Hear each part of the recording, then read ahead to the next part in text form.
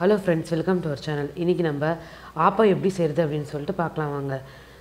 வீடியோக்கு போகிறதுக்கு முன்னாடி please subscribe to my channel வாங்க வீடியோக்குள்ளே போகலாம். ஆப்பம் செய்ய தேவையான பொருள் என்னன்னு சொல்லிட்டு பார்க்கலாம். ஒரு டம்ளரில் இட்லி அரிசி எடுத்திருக்கேன். நீங்கள் எந்த டம்ளரில் எடுத்துக்கிங்களோ அதே ஒரே டம்ளர் அளவில் பச்சரிசி எடுத்துக்கோங்க மாவு பச்சரிசி. அதில் ஹாஃப் டம்ளர் உளுந்து அதுக்கப்புறமா வந்து ஒரு டேபிள் ஸ்பூன் வந்து வெந்தயம் ஆட் பண்ணிக்கோங்க.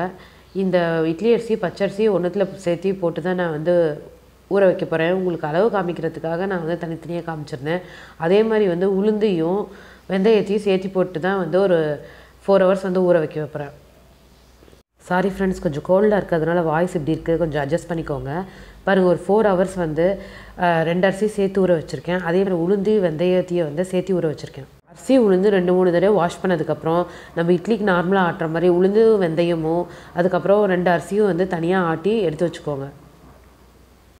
ஒரு ஹாஃப் அன் ஹவர் வெந்தயத்தையும் உளுந்தையும் சேர்த்து ஆட்டிட்டு நம்ம வந்து கொஞ்சம் திக்காகவே எடுத்து வச்சுக்கோங்க. நம்ம வடக்கில் எடுத்து வைக்கிற மாதிரி ரொம்ப தனியாக இருக்க வேண்டாம். தனியாக ஒரு பாக்ஸில் ட்ரான்ஸ்ஃபர் பண்ணி வச்சுருக்கேன். உளுந்து ஆட்டினதுக்கப்புறம் அரிசியை போட்டு ஆட்டி அதே உளுந்து இருக்க பாக்ஸ்லேயே வந்து அந்த அரிசி மாவையும் வந்து ஆட் பண்ணிக்கிட்டேன். நல்லா வந்து ரெண்டையும் வந்து உளுந்து அரிசியும் வந்து மிக்ஸ் ஆகிற மாதிரி கலக்கி விட்டுக்கோங்க.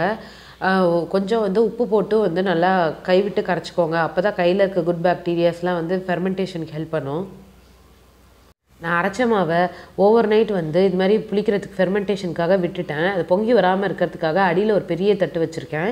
பாருங்கள் ஓப்பன் பண்ணி மார்னிங் காமிக்கிறேன். எப்படி நல்லா ஃபெர்மெண்டேஷன் ஆகி மாவு பொங்கி வந்திருக்கு பாருங்கள் புளிச்சு வந்திருக்க ஆப்ப மாவுலேருந்து எவ்வளோ தேவையோ அவ்வளோ மட்டும் தனியாக ஒரு பாத்திரத்தில் வந்து மாவு எடுத்து எடுத்துக்கிட்டேன். கொஞ்சோண்டு தண்ணி ஆட் பண்ணிக்கிறேன். அதோட வந்து ஒரு பிஞ்ச் வந்து குக்கிங் சோடா அப்படின்னு சொல்லிட்டு சொல்லுவாங்க ஆப்ப சோடா அப்படின்னு சொல்லிட்டு. அதுவோ ஒரே ஒரு பிஞ்ச் வந்து போட்டு நல்லா வந்து மாவை மிக்ஸ் பண்ணி விட்டுக்கோங்க.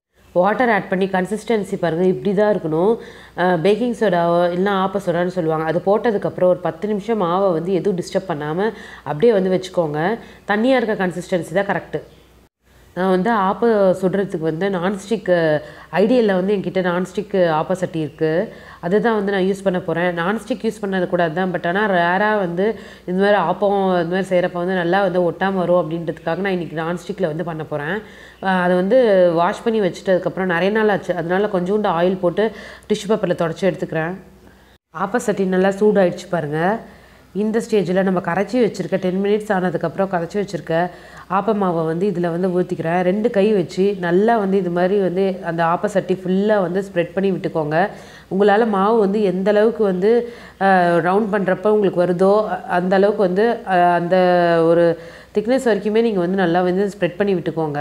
பாருங்கள் ஸ்ப்ரெட் பண்ணி விட்டேன். இவ்வளோ வந்து பெரிய சைஸ் வந்திருக்கு. நான் இப்போ வந்து ஒரு ஃபைவ் மினிட்ஸ் சிம்மில் வச்சு மூடி வைக்க போகிறேன் ஆப்பர் ரெடி ஆகிற அந்த மீன் டைமில் நான் தேங்காய் பால் கரைச்சிக்க போகிறேன் ரெண்டு கை தேங்காய் துருவல் அதுக்கப்புறம் ஒரு ஏலக்காய் போட்டு அரைச்சி அதை வந்து தனியாக வடிகட்டி வச்சுக்க போகிறேன் சர்க்கரை ஆட் பண்ணிக்கிறேன். ஃபைவ் மினிட்ஸ் கழித்து நம்ம ஆப்போசிட்டி ஓப்பன் பண்ணி பார்க்குறப்ப நல்லா குக் ஆகிருக்கு ஆப்போ சாஃப்டாக அவ்வளோதான் ஃப்ரெண்ட்ஸ் நம்ம ரொம்ப சாஃப்டான ஆப்பா வந்து ரெடி ஆயிடுச்சு. வீட்டிலே நீங்களே இது ஒரு நாள் வந்து செஞ்சு பாருங்கள் டெய்லி இட்லி தோசை சப்பாத்தி பூரின்னு வைக்கிறதுக்கு டிஃப்ரெண்ட்டாக செஞ்சு பாருங்கள் நான் இதுக்கு வந்து காம்பினேஷன் தேங்காய் பாலும் கடலை சட்னியும் வச்சுருக்கேன். மோஸ்ட் ஆஃப் த பீப்புள் வந்து ஆப்ப தேங்காய் பாலே போதும். எங்கள் வீட்டில் ரெண்டு இது ரெண்டு காரம் அந்த மாதிரி டேஸ்ட் பண்ணுவாங்க ஸ்வீட் காரம். அதனால் நான் ரெண்டு காம்பினேஷனில் வச்சுருக்கேன். உங்களோட விருப்பம் எப்படியோ பார்த்துக்கோங்க. இது உங்களுக்கு பிடிச்சிருந்தா please like to my channel thank you